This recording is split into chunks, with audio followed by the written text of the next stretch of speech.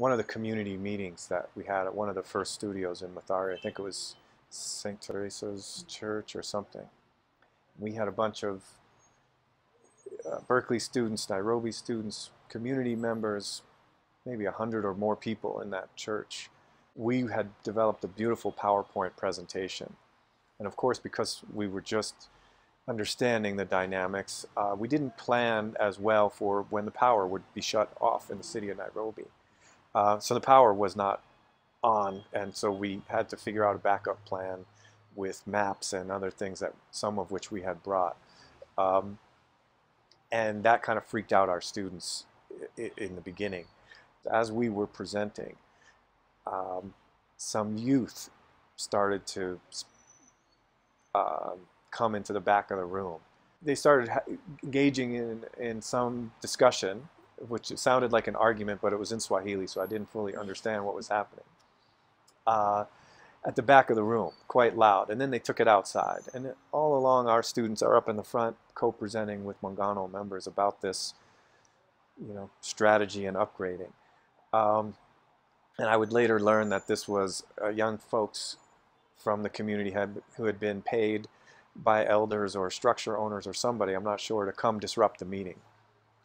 But the story that I heard was once they saw who we were and um, uh, heard about what we were up to, they said, hey man, maybe these guys aren't so bad. Maybe this isn't such a bad thing for us. And the argument, what the older guys wanted them to disrupt the meeting because they had paid them to do that. And it was telling for me, but what really struck me was after the meeting, we're all kind of hanging out outside and uh, you guys who had understood what was happening were translating and explaining to us and trying not to freak out our Berkeley students.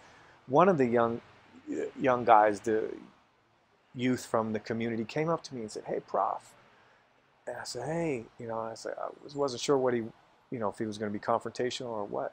He came over and gave me a business card, and I can't remember exactly what it was, but I was really blown away. Like this guy wanted to engage. This young guy from Mathare wanted to engage with us, um, and he was like, you know, call me or text me or something. And it just had his name and his phone number on that. And I said, okay, you know, this was the breakthrough moment for us. We had connected with youth in the community that you know, obviously distrusted outsiders. Um, and for some reason and for some small moment, they said, these guys aren't so bad. Maybe, you know, we want to continue the conversation. And for me, that, that, that was enough. That was enough to say, you know, hey, we, we've arrived a little bit, but we got to show and prove, as we say. We, we got to keep showing up uh, and proving that, that we're, we're committed.